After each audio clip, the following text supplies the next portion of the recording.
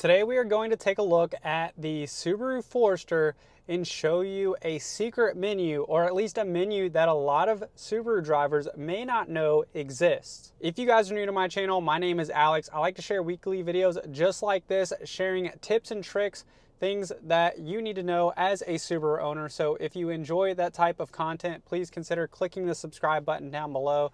And as always, if you guys have any questions, leave those down in the comment section below. What I'm about to show you guys is actually applicable to other Subaru models as well. So not just the Forester, we also have the Impreza, the Crosstrek, and the Ascent that share a very similar design here.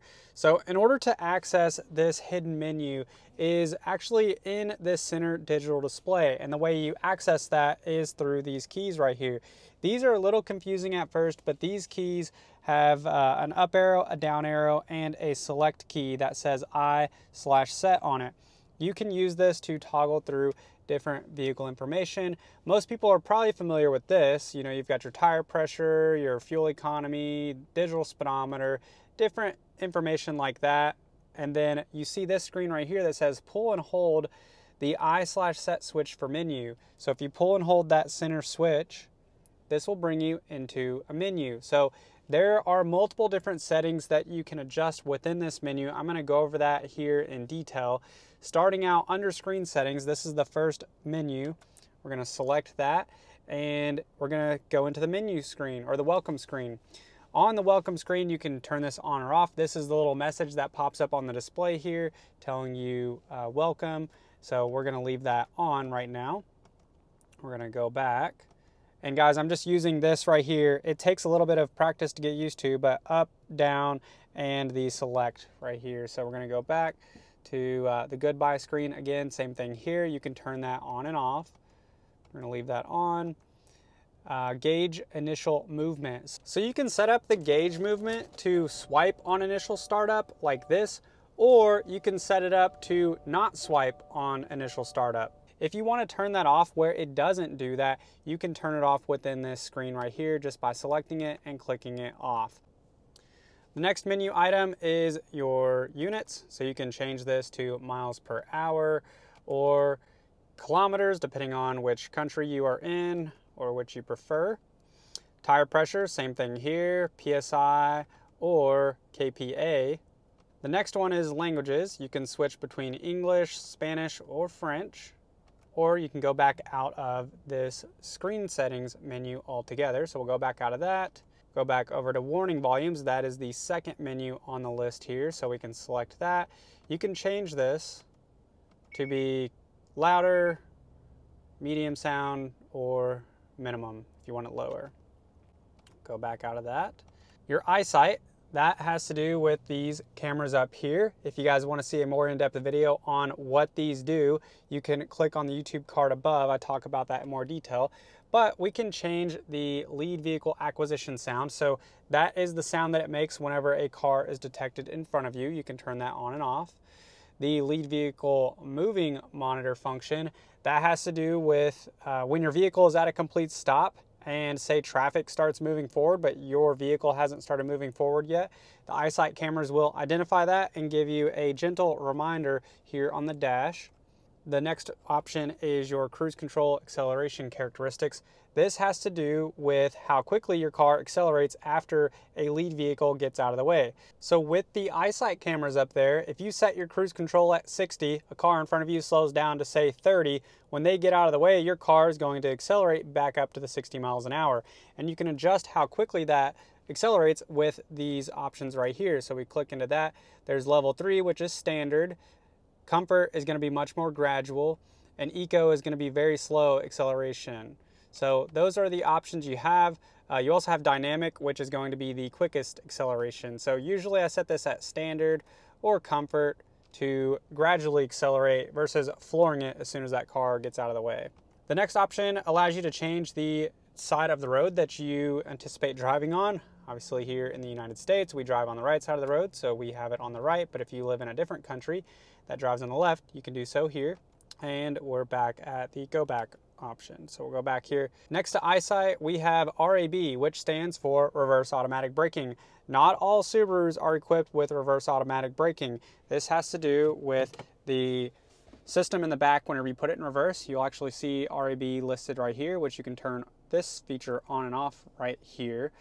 This will automatically apply the brakes if somebody is behind you. So that's a nice safety feature to have. You also have this audible alert right here where you can turn that on and off if somebody is behind you. In order to adjust the sonar alert, the audible alert that you hear, you just click on RAB and then you select sonar audible alarm. You can turn this on and off right here and keep it permanently off.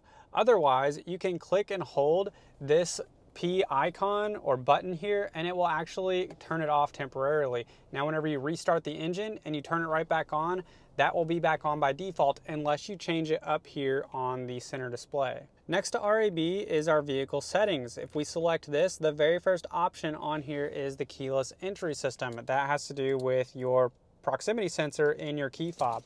So if we select the keyless entry system, that will take us into the adjustments here. So the first one is audible signal. So you can turn this on and off. This has to do with uh, getting in and out of the car. It will make an audible sound when you're just a beep whenever you're getting in and out of the car.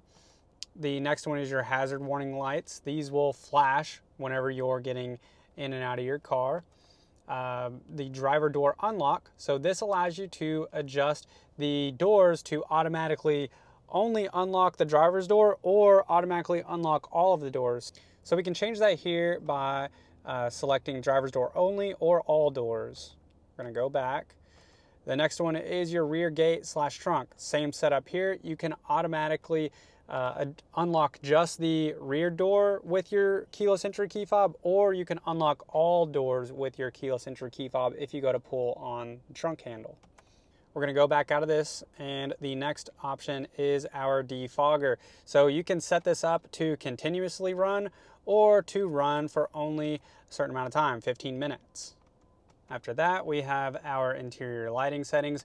These will stay on based on the amount of time we set whenever we open the door and close it. So the way that works is when you get out of your car and close it, you're walking away, your interior dome lights will stay on for whatever amount of time you set on the timer here. So we have it set at 10 seconds. So at approximately 10 seconds, that will shut off. But if you want to keep it on longer, you can do so by selecting 20 seconds, 30 seconds, or you can even turn it completely off if you don't want your dome lights to stay on when you exit your car. Auto door lock and unlock allows you to automatically lock your doors or unlock your doors based on different vehicle functions. So we'll hop into this. For the auto door lock function, there are a few different options. We've got vehicle speed, which I believe once you reach 12 miles an hour, your doors will automatically lock. If you shift into or out of park, your doors will automatically lock and you can turn it off. If we go back over to the unlock function, the auto door unlock, we can uh, switch this to uh, shift into or out of park, similar to the lock function. We can have it auto unlock when we turn the ignition off or when the driver's door is open. And then lastly, you can turn it off. We'll go back out of this.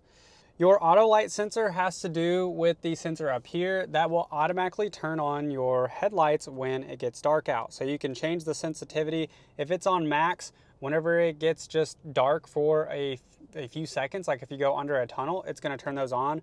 Put it on mid, it's less sensitive, and low, it's going to be the lowest sensitivity, so it's gonna take longer for your lights to come on.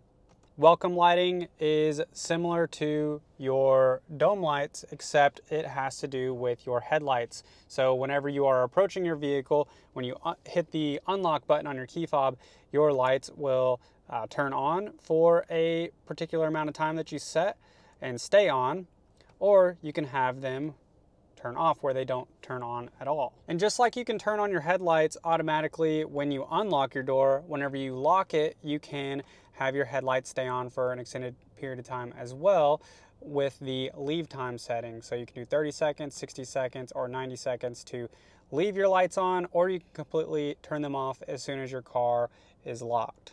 The one touch lane changer has to do with your left stalk over here. So you can turn your blinker on and leave it on, or if you just gently tap down, it will blink three times consecutively. Now, if you don't like that one touch feature, then you can turn that off to where when you do that, it doesn't do the three consecutive blinks. here is what it looks like if you turn that off. See, it doesn't blink at all. It just, you have to go all the way down. It doesn't just hold it there. But really the uh, most convenient way is just to leave that on. Under door mirror settings, if we select this, you can adjust your mirrors to where they will auto tilt whenever you put it into reverse. And that covers it for our vehicle settings. The last menu here is to adjust back to default settings. So if you mess something up in here, you adjusted something and you want to change it back or revert back to factory settings, you just click on the default settings and we click on yes. That will change everything back to your default settings. So that about covers it for the secret menu on this Subaru Forester as well as those other models I mentioned. I hope you guys have a great day. If you have any questions, leave those down in the comment section below and I will see you in the next one.